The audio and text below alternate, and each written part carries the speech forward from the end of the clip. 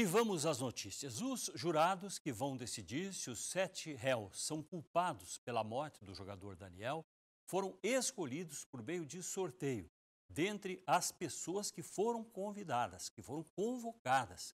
São mulheres e homens, quatro mulheres e três homens, e nós vamos saber mais agora com o repórter Rodrigo Leite, que está lá acompanhando e traz as informações. Alô, Rodrigo.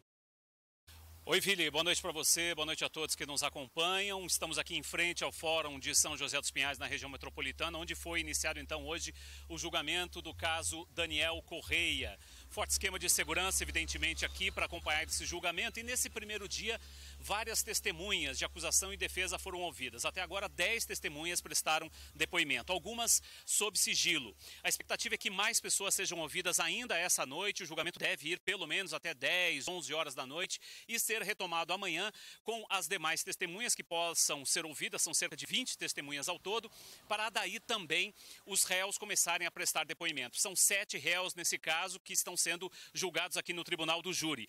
Edson Brits Júnior, homicídio triplamente qualificado, também por ocultação de cadáver, corrupção de menor, coação do curso do processo. A esposa dele, Cristiana Rodrigues Brits, sendo julgada por homicídio qualificado, fraude processual, corrupção de menor e coação.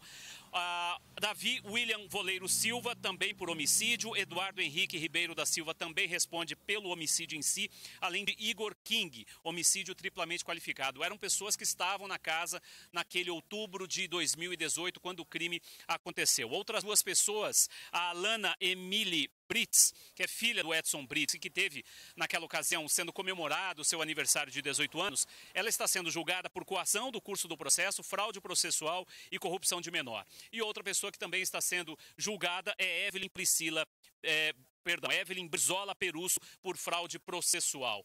Esse julgamento teve hoje aqui a presença da mãe do jogador Daniel Correia. A Eliana Correia chegou aqui com os seus advogados, evidentemente muito emocionada e irá acompanhar o julgamento até o final. Repetindo então, filho, esse julgamento tem previsão de terminar na quarta-feira. Essa é a previsão inicial aqui no Tribunal do Júri.